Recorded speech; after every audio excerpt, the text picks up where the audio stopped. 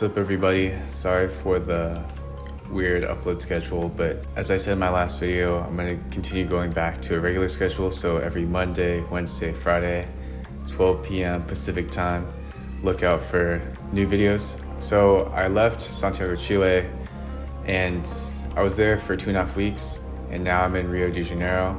And because I was in Chile for so long, maybe some of you are wondering how it was down there and any advice I might have. And since this is the second part of a two part series of Santiago, Chile, I'm gonna give you all a review and give you all my recommendations about what there is to do and stuff that might that you might be interested in seeing or doing while you're in Santiago. Um, because I took some of the recommendations from the locals that I asked in that first part, and I went to some of the places and checked all that out. And also, I got a haircut here in Brazil. I'm doing a full reset of my hair. And shout out to this guy. Gracias. Okay. Valeu, obrigadão. Uh, ciao. Um, I don't know his name, but shout out to him for resetting my hair. Don't worry, longer hair is coming back, and maybe when I'm in Asia or something, I'll get a haircut again. So just stay tuned for that too. So this video is going to be an overview of what to do in Santiago, Chile. I think if you have heard of what to do there in Santiago and just what it's like around there, I'd still stay and watch just because, based on from what I heard from the locals, things have changed quite a bit since the pandemic. When I read about Santiago, it's completely different from when I was here. So in the part one video, the locals were just kind of giving me some recommendations on like neighborhoods and specific places to go, and I ended up going to some of those places and also ended up sidetracking and doing other things as well. So basically my whole time, those two and a half weeks I was in Santiago, I visited various neighborhoods and also specific places. And I'm going to give you all basically just a recommendation of the places I went to and places out, of all the places I went to, what I would recommend to someone who's visiting to Santiago. So uh, I'm basically just going to give an overview of five specific places to go to and then five neighborhoods to go to so that if the places that I recommend don't seem like somewhere you want to visit, then you could just go to the neighborhood and maybe something will catch your eye there. So let's get started with the places. The first place I'd recommend going to is Cerro Manquehue, which is basically a hike on the outskirts of the city. I did it with someone through Airbnb, but you could just do it by yourself. Getting there is a little complicated. You have to take a taxi or an Uber all the way up to the starting point because the starting point's in a residential area. So they might not even take you up all the way there.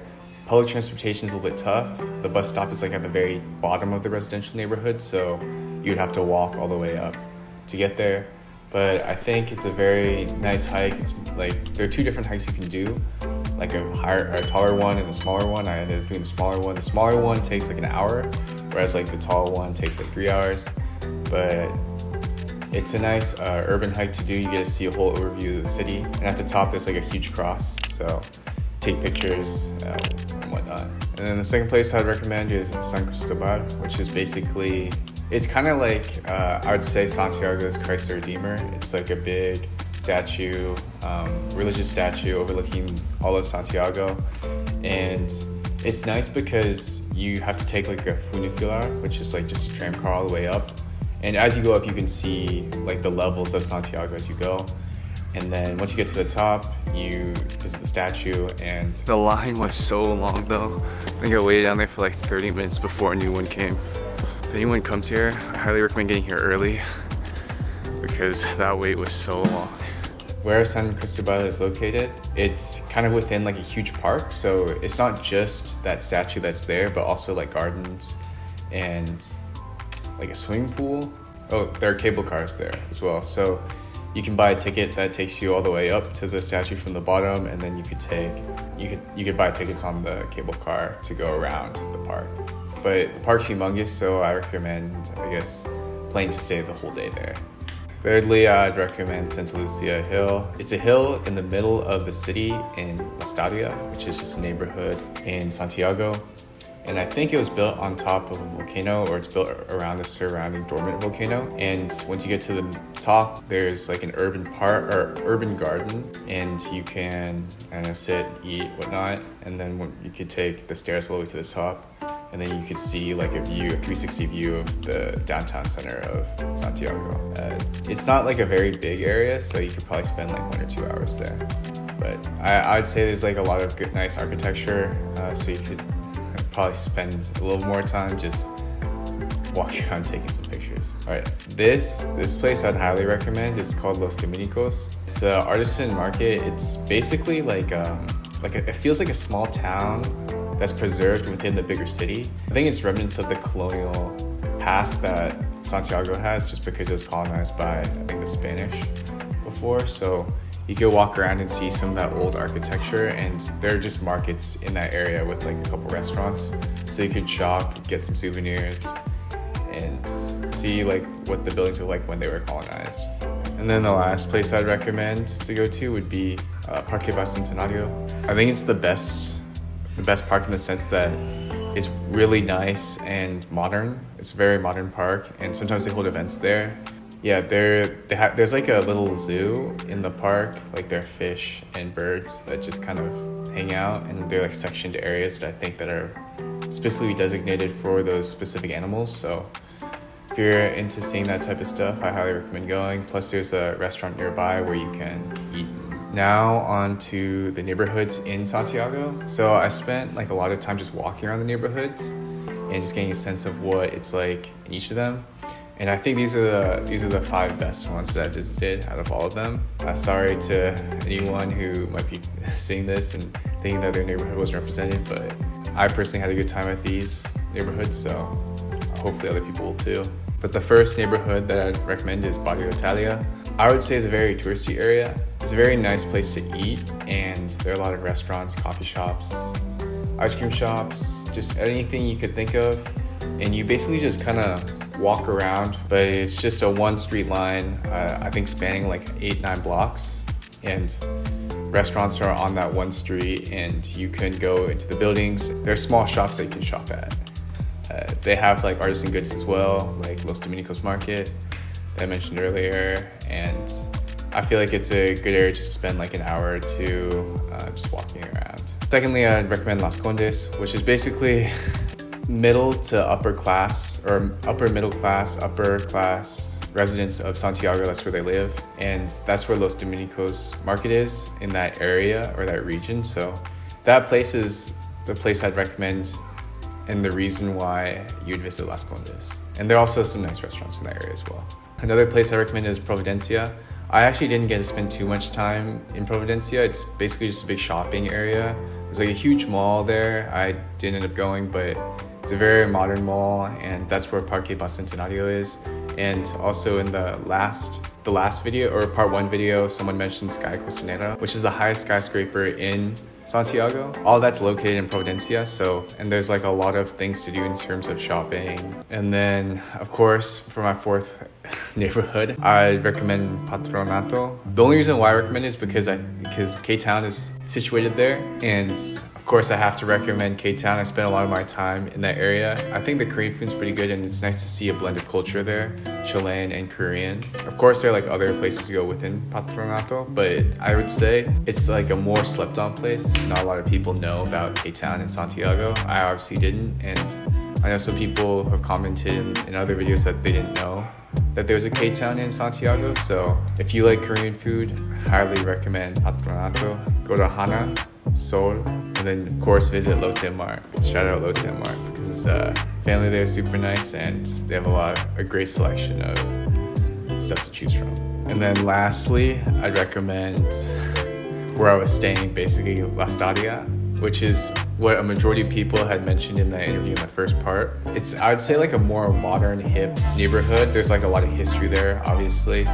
A lot of arts in that neighborhood just kind of on the walls around the restaurants and everywhere. And there are a lot of street performers just kind of randomly performing in different areas, music, people jumping around.